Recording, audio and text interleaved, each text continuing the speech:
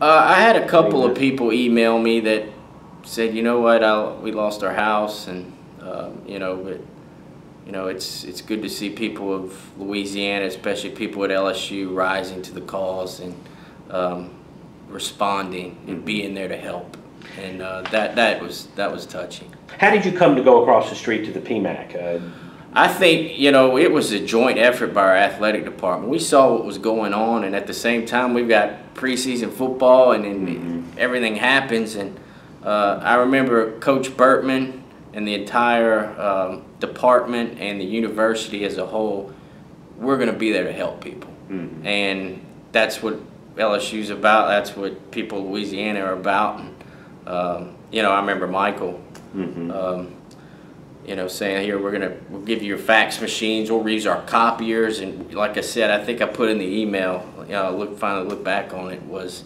Um, we, we never will run a more important document on those copiers of all the stuff that we run than what was run that day. Mm. You know, disaster relief forms that people who had lost their homes or family members had to fill out. And, uh, you know, whether it was running copies, you know, volunteering from our students to our staff, um, LSU responded that day and uh, it made you proud to be a part of it.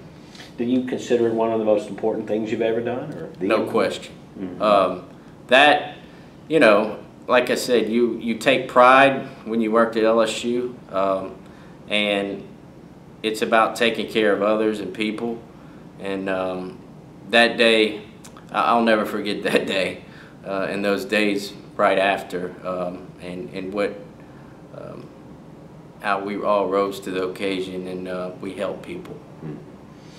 Did it, So- how, was the most impressive thing maybe the Sports Illustrated reference? Yeah, I, you know, my favorite all of, out of all of that, the SI Rick Reilly showed up and he got my email out of the blue, and uh, you know he came and we kind of showed him around and what was happening. But you know he had a great line about you can never underestimate the power of an athletic department and its student athletes in times of need like that. And I think LSU became the model of how to respond in a in a disaster because you have these 300 pound strong young men, uh, you have these coaches, these staff, and you have a facility, the Maravich Center, right there where you can help people.